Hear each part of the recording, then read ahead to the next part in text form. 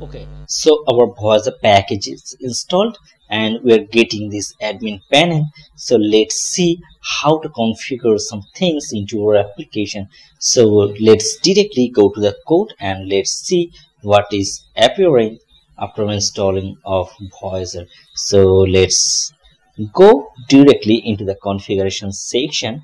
So if you just go inside the config and Voyager so there is a Voyager hooks Voyager.php so basically this is the configuration path and also the file system.php so after installation of Voyager these are appear okay? So first let's go to the Voyager.php and let's see what is inside this.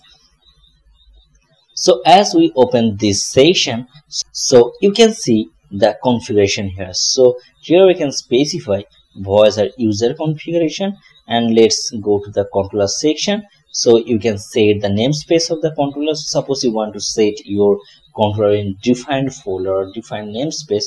That time you can use these things. And simply in the same way in the model section also you can specify this. Or if you don't want to do so you simply just leave this part.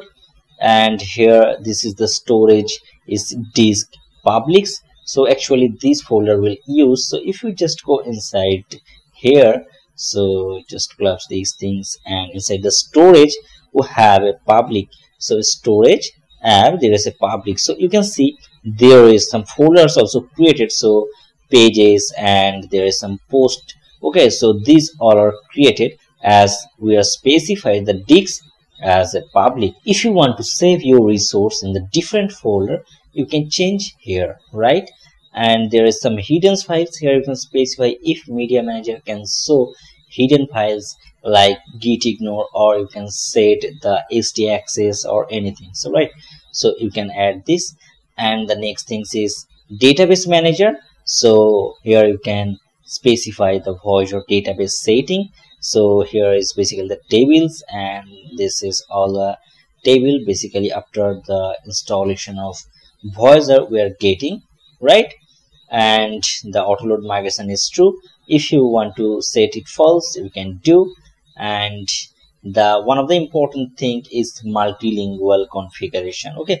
By default it is false. And the default is set as en okay? So if you want to change in others language so make sure you enable is true and the local is will be changed right? So that time if we just enable these things that will not call. Actually this will call from this localist right?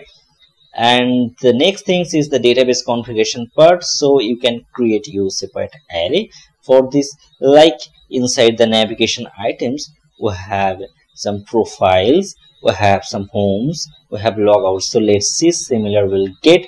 So if we just go inside here we can see the profile home logout basically all these things are appearing from here.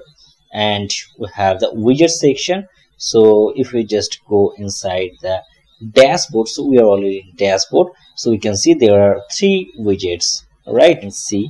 So we can manage these things from here and there is some BREAD actually the BREAD is basically the Voyager provided this name. Actually we are using the CRUD CRUD means create read update delete. So BREAD means is the same but before browser. Actually Voyager added this BREAD and they are using these terms in every cases. Okay so here you can add the add menu item is true. The default menu is admin and permission true and default role admin. So if you want to change you can change. So the default role if you want to add the default role is teacher we can add this teacher right?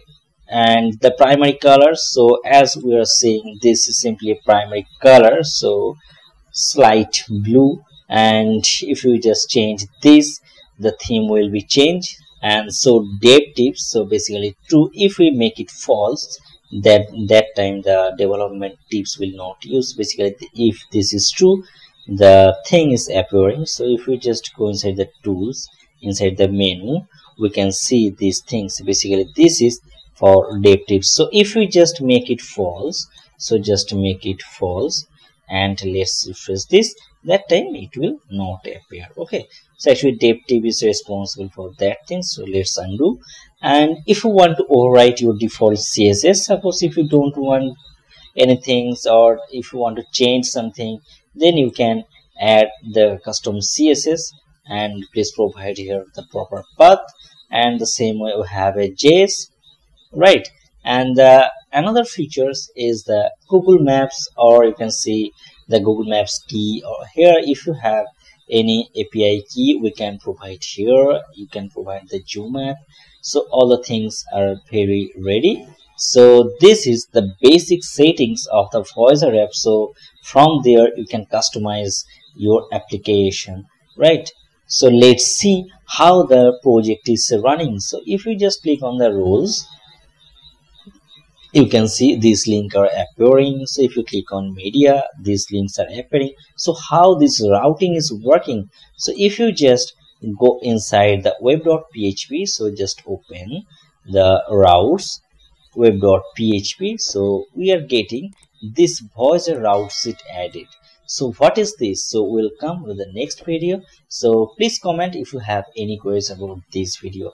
Thanks for watching this video. Have a good day. Bye